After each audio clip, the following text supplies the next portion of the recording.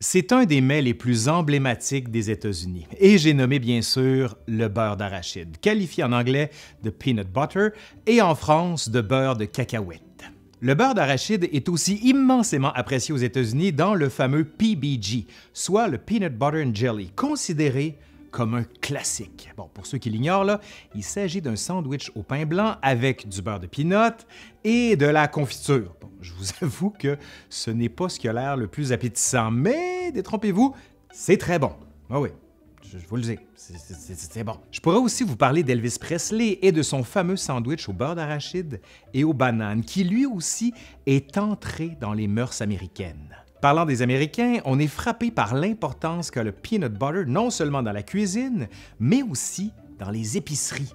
Il y a des étagères entières avec les différentes marques et des variations allant de smooth à crunchy. Le beurre d'arachide fait partie aujourd'hui des aliments les plus mainstream des États-Unis, avec le Pepsi, le Coke, la pizza, le Jello, les hamburgers, le rice roni, le spaghettio, le ketchup ou encore le café Insta. On compte que les Américains dépensent annuellement 800 millions de dollars en peanut butter et que 90% des foyers américains le consomment. D'ailleurs, saviez-vous aussi que le 24 janvier est la journée nationale du beurre d'arachide? Ah non? Ah, vous le savez pas? Ben, maintenant, vous savez quoi faire le 24 janvier prochain. Ouais, beurre de peanut toute la journée. La conquête du beurre d'arachide est aujourd'hui totale, et c'est assez étonnant quand on considère qu'à la fin du 19e siècle, le produit était très peu connu. Son ascension a été rapide et il s'est imposé au point de devenir un incontournable. Aujourd'hui, on assiste même au développement des marques bio, tandis que des chefs n'hésitent pas à proposer des recettes à faire chez soi. Cela étant, demeure une question. Qui et pourquoi on a inventé le beurre d'arachide? Pourquoi? Hein? Comme tous les mets qui sont devenus iconiques, que ce soit la poutine, le hamburger, le hot dog, le pâté chinois ou encore la tourtière, il y a toujours des gardes clochers. Et le cas du beurre d'arachide n'y échappe pas. Allez, aujourd'hui à l'Histoire nous le dira, les origines du beurre d'arachide ou du beurre de cacahuète ou du peanut butter ou du beurre de peanut ou de...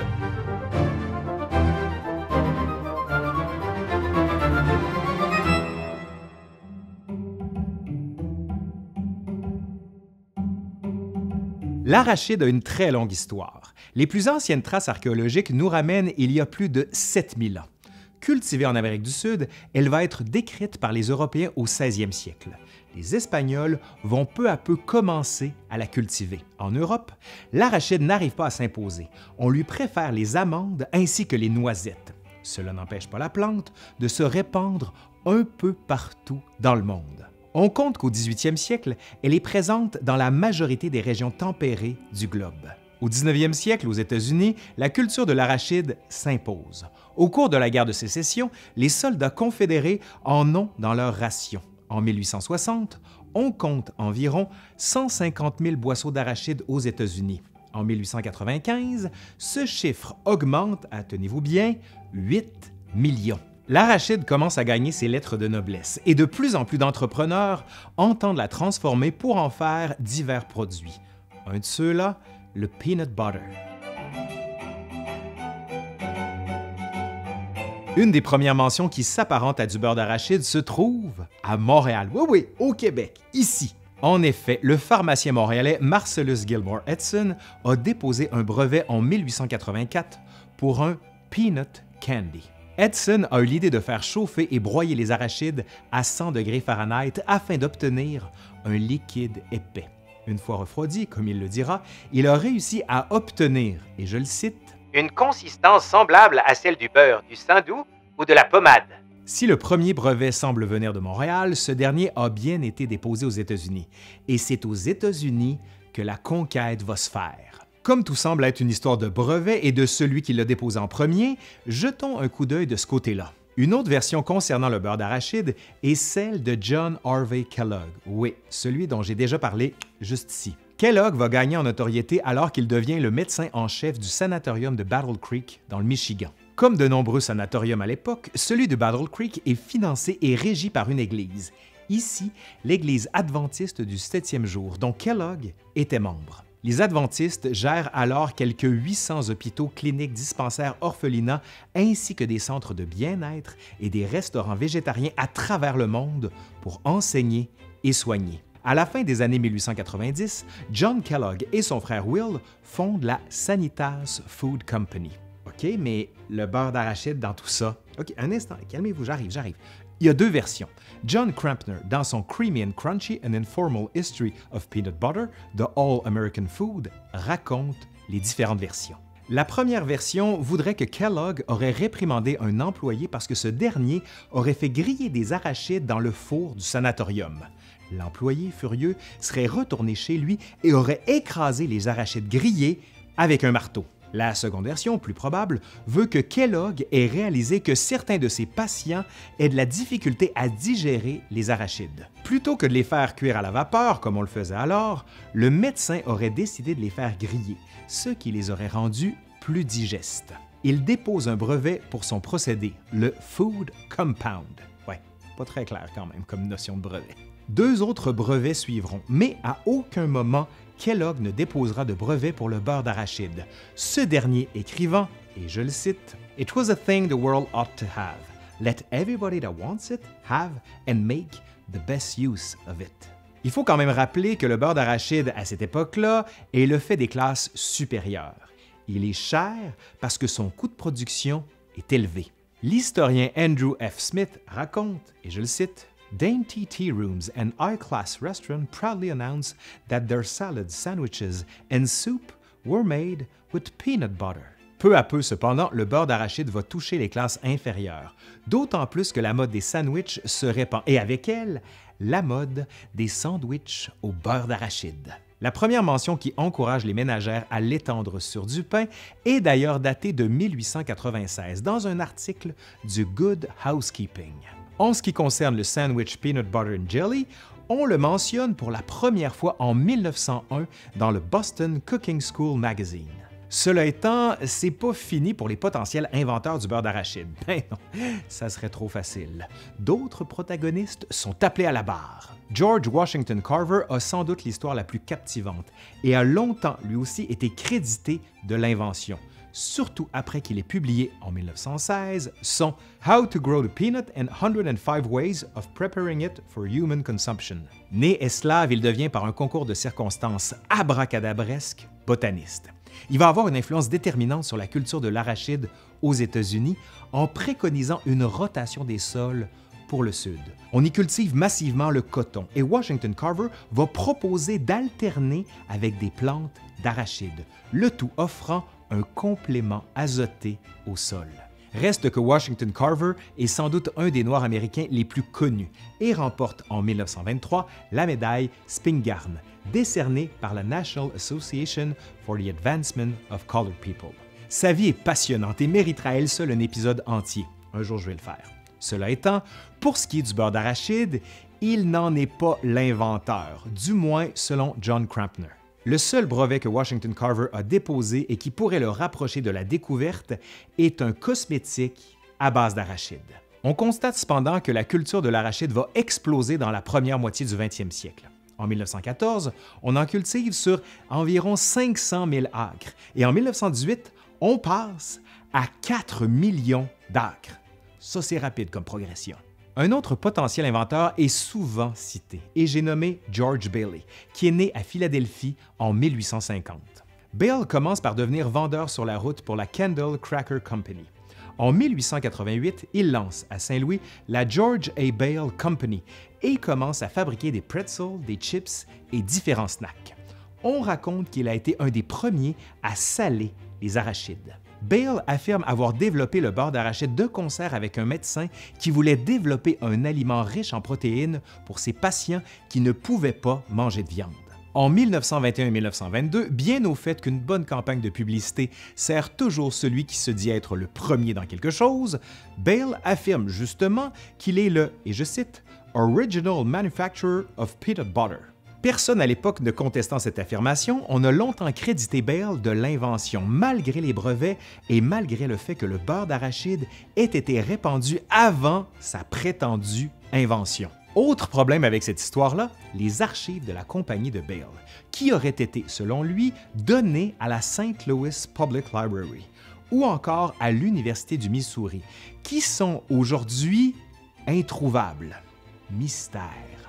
Mais pour l'historien John Crampner, l'histoire de Bale est hautement contestable. La question de l'inventeur reste insoluble, mais ce qui l'est moins, c'est la manière dont les Américains vont s'enticher du produit. Avant les années 1900, il y a aux États-Unis deux grandes compagnies qui font du beurre d'arachide, la Atlantic Peanut Refining de Philadelphie et la Penolia Food Company de New Haven au Connecticut. La Atlantic semble être la première à avoir utilisé le vocable peanut butter sur leur étiquette. Joseph Lambert est le premier à avoir mis en place la production industrielle. Après avoir travaillé sous la houlette de Kellogg, il quitte en 1896 et commence ce qui deviendra la Lambert Company à Marshall, au Michigan. Faire du beurre d'arachide de manière industrielle à l'époque est particulièrement difficile. On engageait des employés qui devaient trier les bonnes des mauvaises arachides tout ce travail était fait à la main et il n'était pas rare que quelques mauvaises arachides altèrent le goût de la préparation. C'est cependant en 1904, avec l'exposition universelle de Saint-Louis, où s'est également tenu les Jeux olympiques, que le beurre d'arachide rencontre le public américain pour de bon. À Saint-Louis, le peanut butter n'est pas la seule nouveauté on profite des 20 millions de visiteurs pour offrir une nourriture qui s'adapte au pas des marcheurs qui arpentent les lieux, comme le hamburger, le hot dog, le thé glacé, le cotton candy, la barbe à papa et même l'apparition du cornet de crème glacée. On raconte que le dernier stand à nourriture qui a été loué à Saint-Louis l'a été par un certain Sumner qui entendait vendre du beurre d'arachide. Le succès est énorme, Sumner ayant généré 705 dollars, une fortune à l'époque. Peut-être est-ce le succès de Saint-Louis qui a amené les habitants du Midwest à consommer largement le produit, parce qu'encore aujourd'hui, il s'agit de la région des États-Unis où l'on en consomme le plus. Après 1904, de grosses compagnies se développent et entrent dans la partie, comme Beechnut ou encore Heinz. Oui, le Heinz qui fait les ketchup, de Heinz Ketchup. La compagnie a vendu du beurre d'arachide jusqu'en 1950, soit jusqu'à l'introduction de nouvelles marques. On va le voir dans quelques instants. La Première puis la Deuxième Guerre mondiale va voir la consommation de beurre d'arachide augmenter en flèche. Cependant, le produit était loin de celui qu'on connaît aujourd'hui. Il n'était pas, comme on dit, stabilisé. Il n'était pas rare qu'il rancisse rapidement ou que l'huile se sépare. Comme on le vendait souvent dans de grands barils, le détaillant devait, à chaque fois qu'un client demandait, le mélanger avant de le mettre dans des pots. Bien que la distribution et les moyens de transport s'améliorent au début du 20e siècle, on ne peut le faire voyager aussi facilement qu'aujourd'hui. Si le marketing du produit est national, sa consommation reste souvent régionale. Dans les années 1920, on va développer le procédé de l'hydrogénation. L'huile de l'arachide est ainsi hydrogénée pour stabiliser l'émulsion et ainsi empêcher que celle-ci ne remonte à la surface. Pour la première fois, on peut stocker le beurre d'arachide dans des entrepôts afin de pouvoir desservir plus de gens plus loin. Deux hommes se disputent la paternité du procédé. Le premier, Joseph L. Rossfield, qui, le 5 avril 1921, dépose un brevet qui s'intitule Peanut Butter and Process Manufacturing the Same. Rosefield vendra son produit dès 1923 sous le nom de Peter Pan. En 1933, on propose un nouveau produit, Skippy la compagnie sera achetée en 1955 par Best Food et existe encore aujourd'hui avec ses 14 sortes différentes de beurre d'arachide. Cependant, quelques jours avant Rosefield, le 17 mars 1921, Frank Stockton avait déposé un brevet au nom peu invocateur de Food Product. En consultant le brevet, on réalise que Stockton est le premier, bien sûr avec son brevet, à utiliser le terme de peanut butter, alors que Kellogg parlait plutôt de nut butter. Selon toute évidence, Stockton a vendu ou attribué son brevet à Heinz, qui produisait du beurre d'arachide depuis 1909.